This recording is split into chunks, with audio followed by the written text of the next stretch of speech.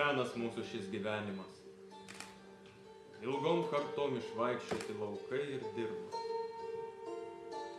Kiekviena žemės pėda čia alsuoja dar tėvais. Kaip jie kas vakar, po darbų susėsdavo prie vakarienės stalo, mintis jų ir žodžius atsimena įskilęs indas. Jų meilės sklidinas asotis senas.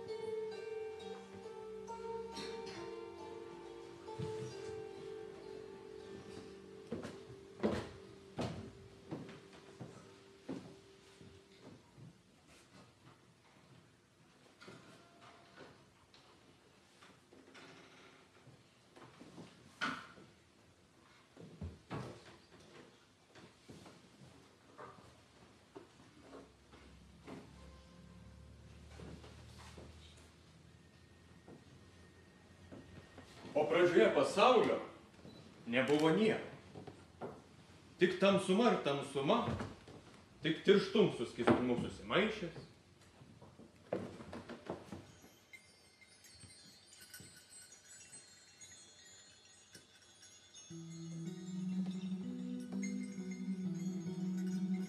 Pradžioje pasaulyje nieko nebuvo. Visur tamsu it kisėlis. Skistums su tirštumu susimaišęs. Buvo tik kažkas baltas. Toks apvalus ir kietas. Šiek tiek pailgas ir labai didelis. Iš vidaus kažkas pasibeldė. Taip kaip beldžiama į duris. Tas kažkas pramušė kietą sieną. Ir atsirado jūros marelės.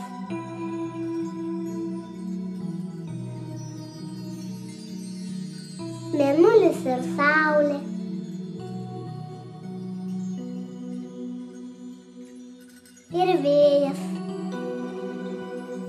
Protėvių vėlės. Ir miškas. Ir miško žvėreliai.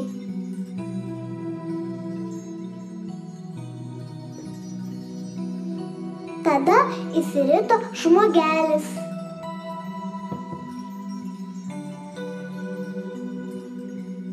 Graži moterėlė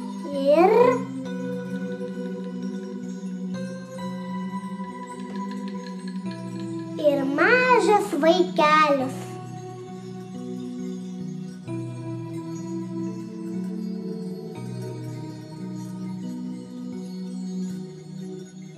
Išėjo medinis namelis ir sodas. Ir asota žolė. Ir upelis.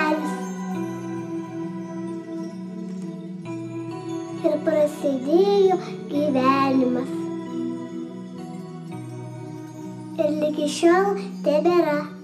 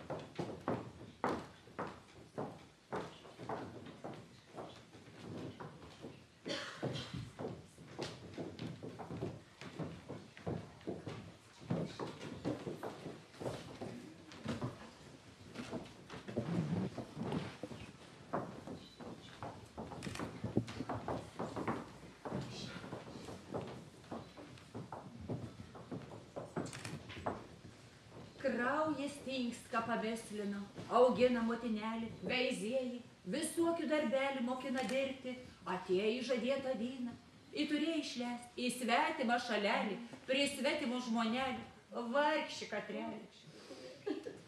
Ne na čia pirmą, ne na čia paskutinį. Juk galvoni tau į visom šitą tebog. Juk jau į tep dievulis būt. Buvo tuo. Mane atrodo, kad jaunėlis katrelį mylės. Ir prisunkiu darbų navarys, ir geresnį kosnėlį pažyčiais, ir ilgiau ryt netelės pamėgdys. Veizėkit, veizėkit, kokias didelės žingsnės, kad reikia prie altoriaus žirkliau. Man atrodo, kam turėtų lengva gimdyti. Vaka, birės kaip žernė išvirkščių. Daug dievė iš tavo lūpų į Dievo ausį. Pavyzdėkit, kaip šveisė deg žvakių par šliubą. Ilgs ir laimings gyvenims bus anodo. Mona, Kokiai mona? A jūs prisimenat, kuomet sutkaus taselis su klėme žanijos? Vatausikė žvakis vos, vos melka. Ta todai po šią dieną kap moselis po išrūkste bvarks. Po senutin veinas bėdas. Nepriteklė, lėgas visokius spol. Votavai mona. Nu, bet veizėkit, kad reikės pusė žvakė šveisiau deg, negu jonok. Išėtų taip, kada nors viršus išėjimo bus didesnis. Nu, bet jeigu dabar klaupdama, priklaups drabužį jonukų, tau kart visą gyvenimą ant nuo viršų turės. Oi, dai mačiau motinelį, į padelką įsiuva česnakas kiltelį, kai juokis piktas. Dvasios į tą vytą, kad raivelnį pramanyta, nepristuotų prie mergėkės. Novo motriškėlis savi pušliūba, kad tik dabar nugrįžtų, kas nepraganautų, kokį piktą kimną nuveizėtų. Alenie tuos galės, kad katra tėvų palaiminimą į bažnyčias pašventinimą baiveiktų. Nu, jie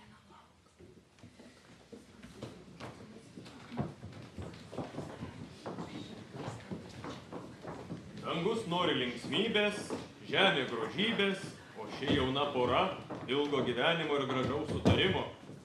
Laikas jaunųjų gyvenimo pradžiai, lovelę gražiai pastrai. Viską suriktuos, kad jokios nečystos sylos prie anų nepristos.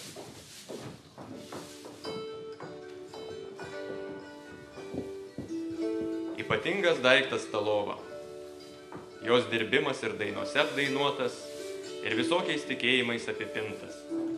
Juk žmogaus gyvenimas lovoj prasideda, lovoje jis ir baigės. Koks nakties miegas, toks dienos darbas. Minkštai klosi, kietai miegosi. Ypatingos buvo jaunavedžių lovos klojimo apygos. Mūsų krašte jaunavedžiams lovą klodavo jaunojo motina su nuotakos draugėmis.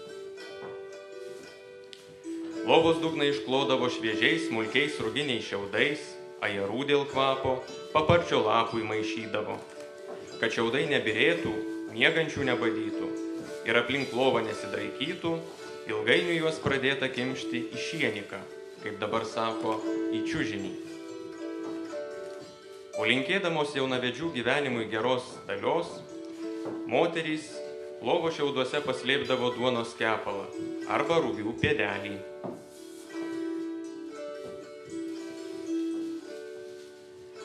Sakydavo, kiek nubirės grūdelių, tiek jaunieji susilauks vaikelių.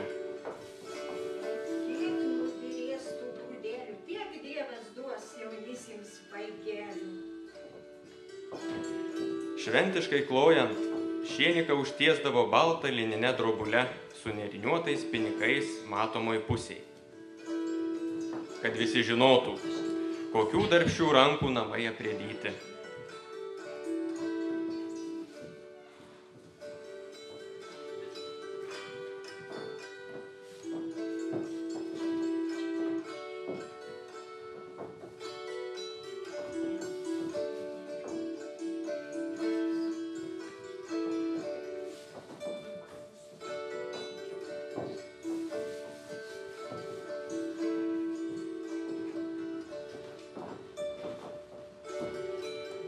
Na geriausi patalai - perinos iš plėšytų vandens paukščių plunksnų. Jie pūrūs lengvi, Ant patalų vilkdavo lininį užvalkalą, dvilinkį, raiščiukais arba medžiaginiais guzikais užsegama. Yra posakis, po dvilinkių gimęs, dvilinkį te turi. Patalų užvalkalus vėlėti sunkiausias darbas. Juos kalbdavo tik ant lentos.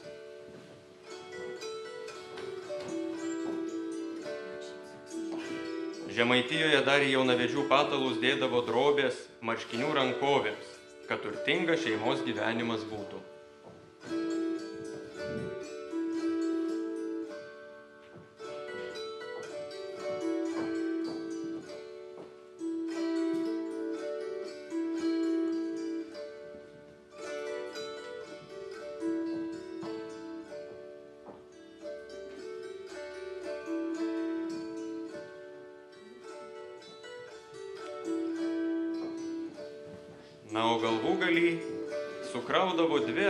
Pagalves.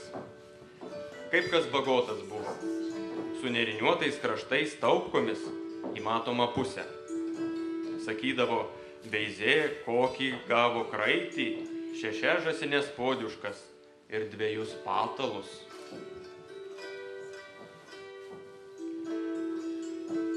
Pilant plunksninės pagalves reikia žiūrėti, kad impilas būtų geras tankus, kad plunksnų nepaleistų.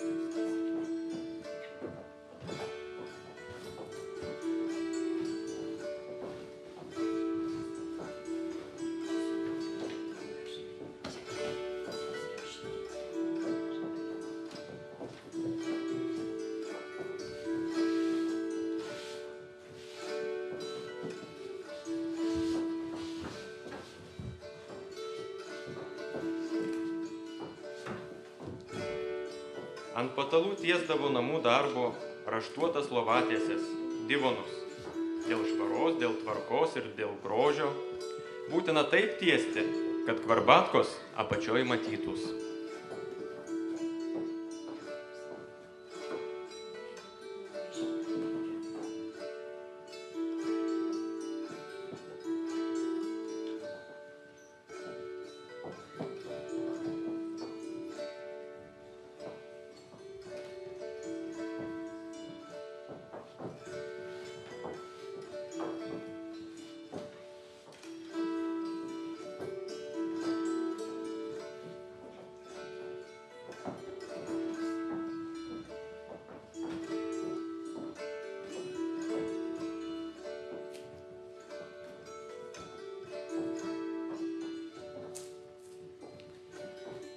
Motina jaunamartės pagalbę įsiūdavo plunksnų vainikėlius.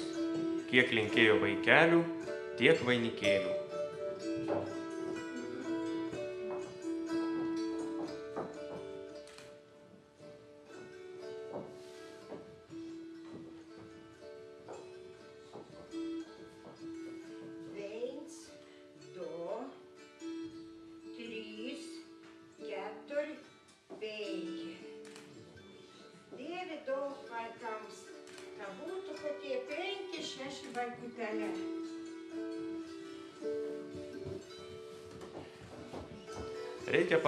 Kaip reikiant išpurenti ir pagal dydį suriktuoti, kampelius rūpes- rūpestingai sukamšyti.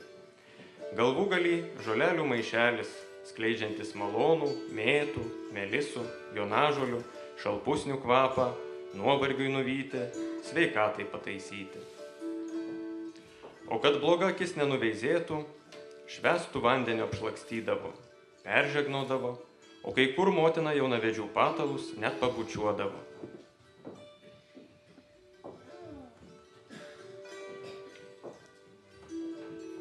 štai jums ir šventinis guolis. Tesidžiaugia siela nakties ramumu. Prašom atsigult, gardžiai pamiegot ir linksmai atsikelt.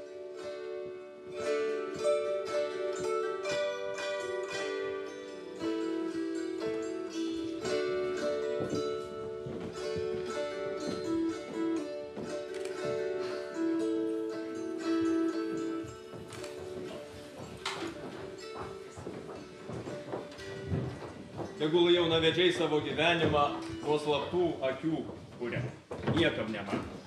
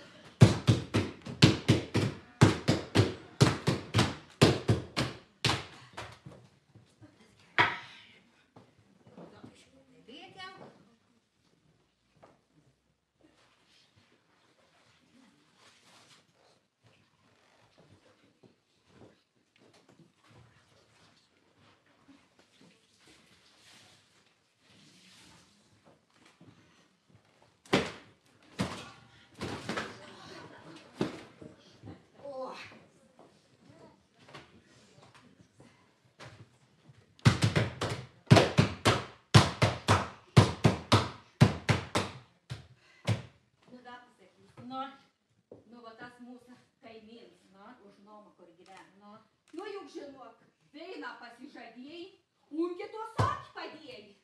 Nu, na, šatona blauzda. Oi!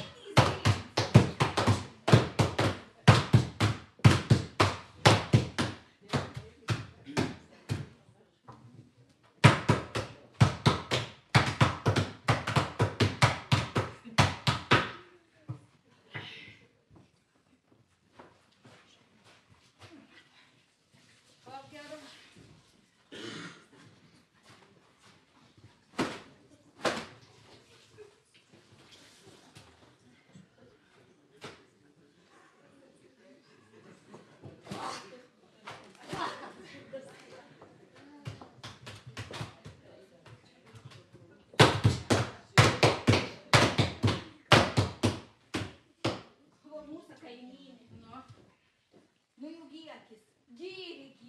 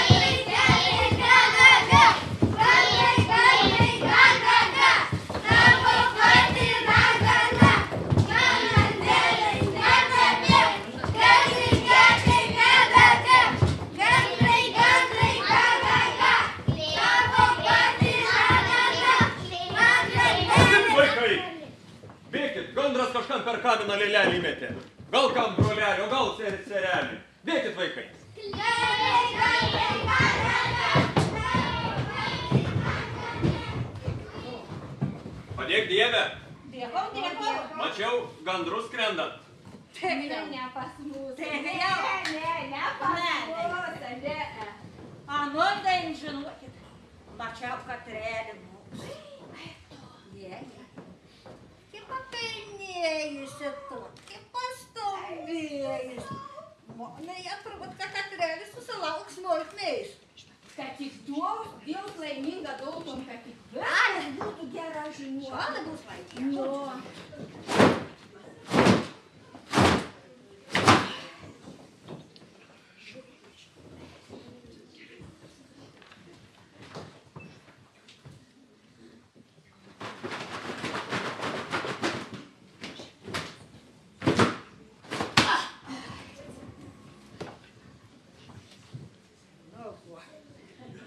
subscribe video.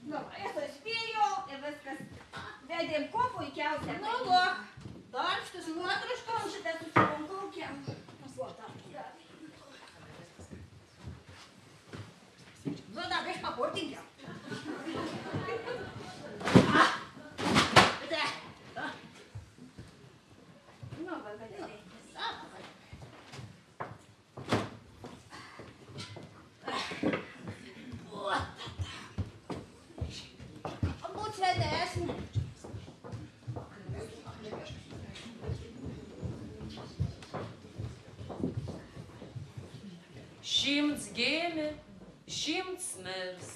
Šimts gėmė, šimts mirs. Šimts gėmė, šimts mirs. a jau gėmė. Danė. Gaila, šion minutį gėmės būt bavis koniks, ava įskops. A jau gėmė, Nu, Danė.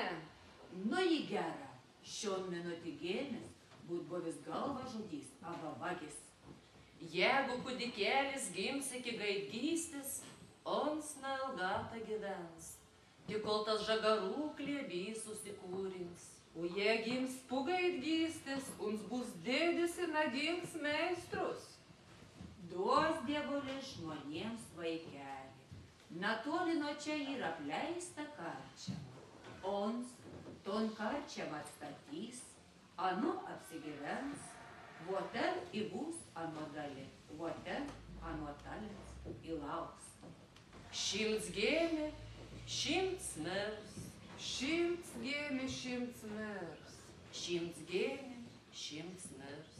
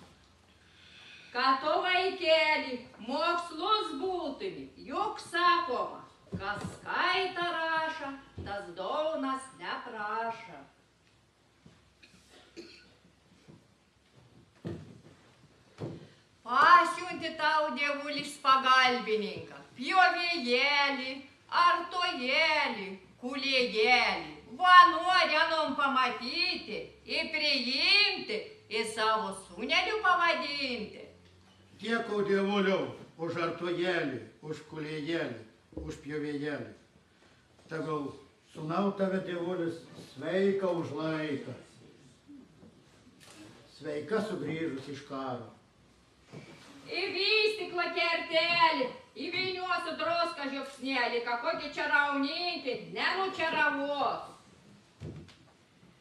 Grom perkūns žaibą žaibau, krent rūdis, verst žaibą. Dievą žodį nieks negal pergalėti. Nu nieką nerek bijoti, nei kokių akių, nei pilkų, nei jaudų, nei mėlynų, nei rodų.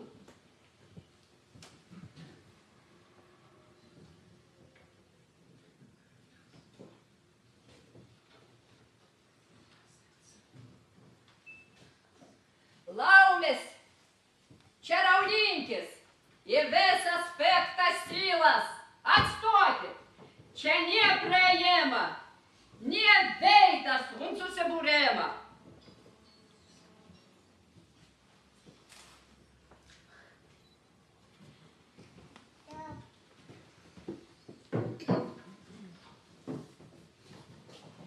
Po smalėnų miestelį čiužinėjo laumelė. Po smalėnų miestelį čiužinėjo laumelė.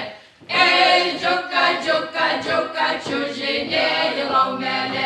Ei, džiuka, džiuka, džiuka, čiužinėjo laumelė. Mes to laumė pagausmą ir čiuprina nurausmą. Mes to laumė pagausmą ir čiuprina nurausmą. Ei, džiuka, džiuka, džiuka, ir čiuprina nurausmą. Ei, džiuka, džiuka, džiuka, ir čiuprina nurausmą. Mėla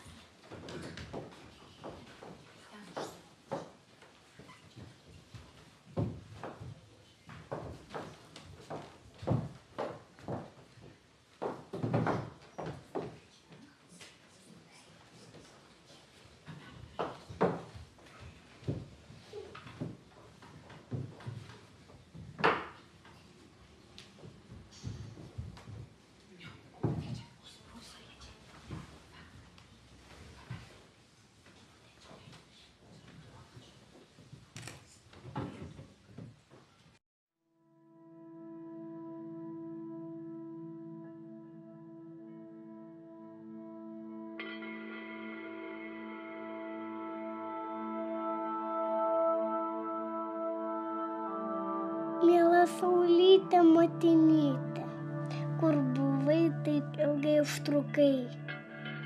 Už jūrių, už kalnelių, siratėlės kavojau, sušildžiau piemenaičius. Mano saulytė motinytė, kas tau ugnelę pakūrė, kas patalėlį paklojo. Aušrinė ugnį pakūrė, vakarinė patalėlį klojo. Saulė, saulė, eik už miško. Tavo vaikučiai verkia ir maži šakinėja. Žiūrėk, jau mėnuo teka. Mėnuo mėnulaitė, dangaus karalaitė, tau šviesybė, man linksmybė. Mėnuo mėnulaitė, dangaus karalaitė, tau šviesybė, man linksmybė. Mėnuo mėnulaitė, dangaus karalaitė, tau šviesybė, man linksmybė. Kas ten dainuoja taip graudžiai, taip graudžiai? Tai nokstantis rūgių laukai, vaikeli.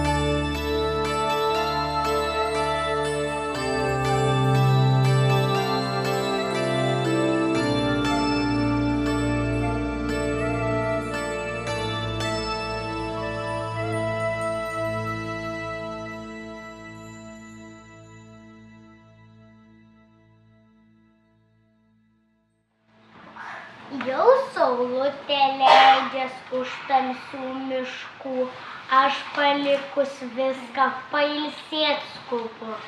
Ačiū tau, dievuli, už dienelę šią, kad vis sveika, linksma prilaikai mane. Leisk per naktį sėtis tėviškoj globoj ir sveikai pabusti su tavim rytoj. Dabar manęs pats.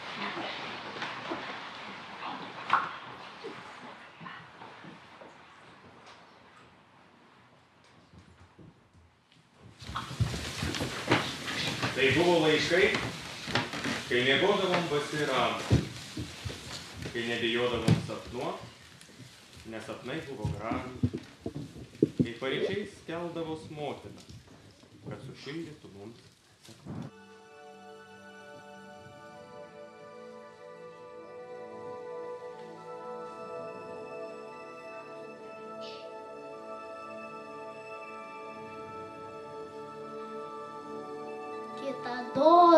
Užaugo elnių ragai. Ir jis nežinojo, ką su jais veikti. Klausinėjo ir žvėrių, ir paukščių. Niekas nežinojo, kam elnių ragai. Tik saulė atsakė.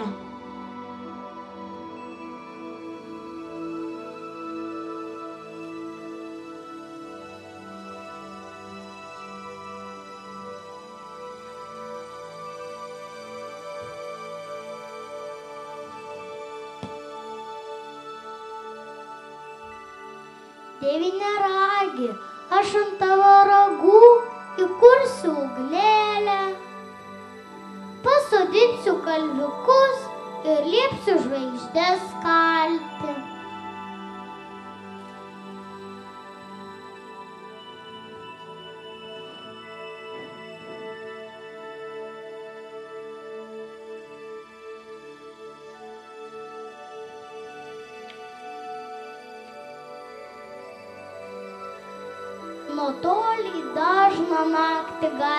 Matyti elnę stovint. Ant jo ragų ugnis dega. Tai kalviukai žvaigždės kala. Jo ragai dangų siekia, tad kalviukai tik ištiesia ranką ir prisega žvaigždė prie dangaus.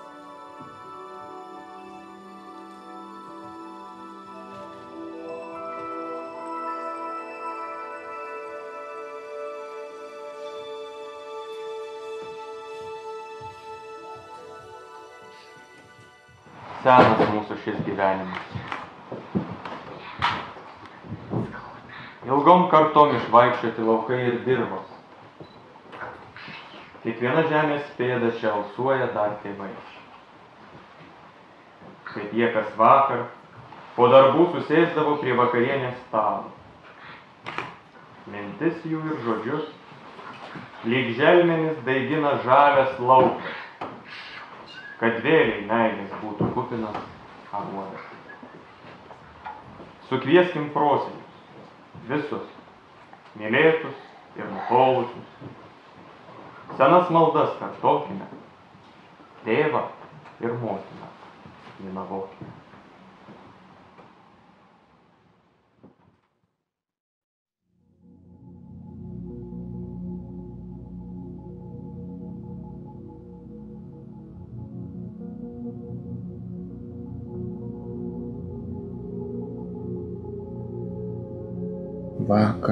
Saulė, prisimink mane, skaistus sietynė, prisimink mane, vieversio palse, pašauk mane, vaikystės gandrė, pašauk mane, pakrančių smilga, paslėpk mane, vandens lelyje, paslėpk mane, laukų rugiagelė, neužmiršk manęs, Dievo karvytė, neužmiršk manęs, vieškelio dulkė, prisimink mane, vėjau nuo jūros, priglausk mane, protėvių giesmės, prisiminkit mane, senelės maldos, neapleiskit manęs, kalba šventoji, neapleisk manęs,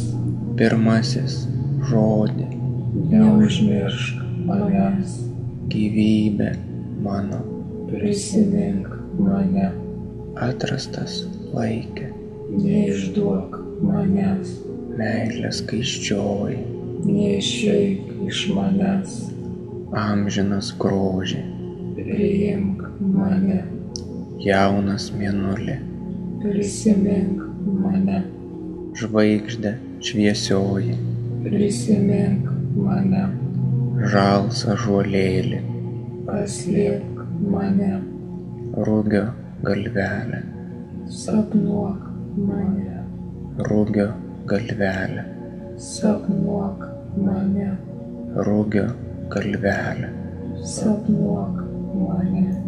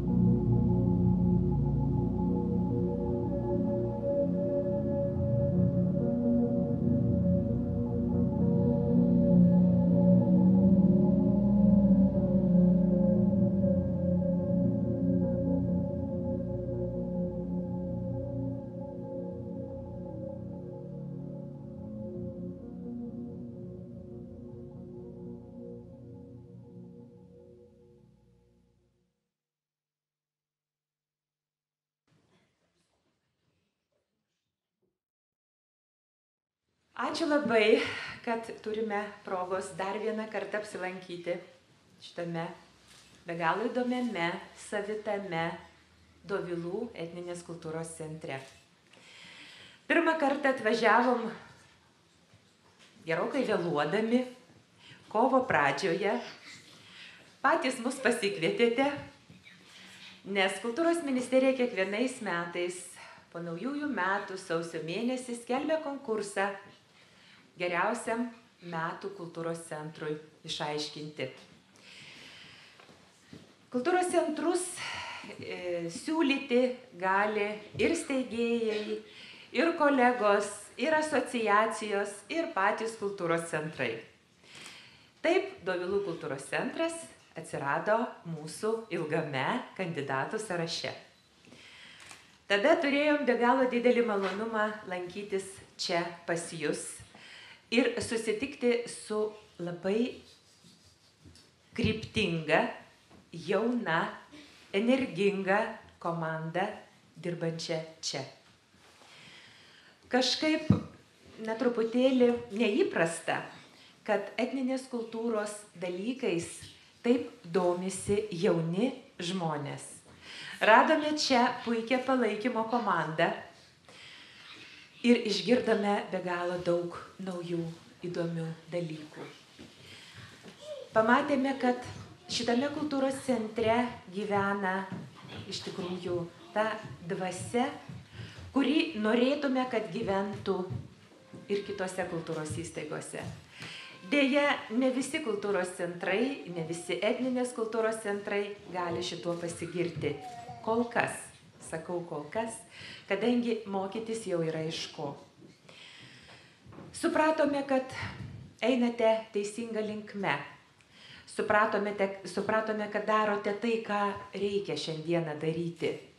Kad būdami jauni suvokėte, kad esame tol, kol gyvi mūsų papročiai, gyva mūsų kalba, kol gyvi, gyva tai, iš kur mes atėjome. Ačiū labai už šiandieną parodytą be galo dvasingą gražų spektaklį. Tai gal netgi ne spektaklis, tai yra gabalėlis mūsų gyvenimo. Iš tikrųjų, džiaugiamės, kad yra toks etninės kultūros centras. Visokiojopai palaikome jūsų idėjas, džiaugiamės jūsų darbais ir palaikysime jas ateityje. Tikimės, kad gyvuosite, kad būsite, kad niekur nepabėgsite, nes kuo giliau klimpsta jūsų kojos, širdis, galvos į šitą veiklą, tuo ilgiau nebūsite paleisti. Taip kad ačiū Jums labai. Na, o premija. Supratom, kad ne dėl premijos yra šitas centras ir ne dėl, ne, ne dėl premijos dirbate. Dirbate tam, kad norite, kad ir po mūsų liktų kažkas tiems mažiems, kurie ateina, tiems, kurie dar ateis. Na, o žinoma, premija irgi geras dalykas. Nėra jinai labai didelė, jinai jau pas jūs, nežinau, ar išleidote ar ne, gal pasigirsite, o šiandieną mes su Mėla Inga, mūsų vertinimo komisijos sekretorė, atvažiavome paliūdyti to fakto, kurį jau jūs senai sužinojote iš mūsų svetainės, svetainėje paskelbtų dokumentų iš ministro įsakymo. Kai pabuvojome pas jūs, niekam iš vertinimo komisijos narių nekilo abejonių, kas 12 metais yra geriausias pirmojoje kategorijoje. Nes jūs visiškai kitokie, jūs esate tie, kuriems reikia plėtotis, kuriems reikia gyventi gilin ir gilin ir platin. Taigi mes šiandieną atvežėme paliudijimą, kad Dovilų etninės kultūros centras ir jo direktorė Lilija Kerpienė, visas gražus centro kolektyvas pelnė geriausio 12 metų kultūros centro vardą. Labai norėčiau kviesti čia, mielą direktorę, kad jinai ten toliausiam kampelėje, kad ateitų ir priimtų šitą paliudijimą. Nuoširdžiai sveikiname, mėla Lilija, stiprybės jums, sėkmės jums, sveikatos jums ir kūrybos džiaugsmo ilgiems, ilgiems metams.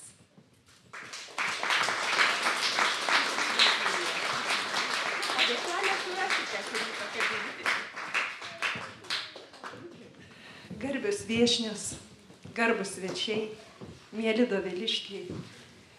Iš tikrųjų, šiandien ypatinga diena, daug išgirdom gerų žodžių, šiltų labai, tai mus įpareigoja, ypatingai įpareigoja.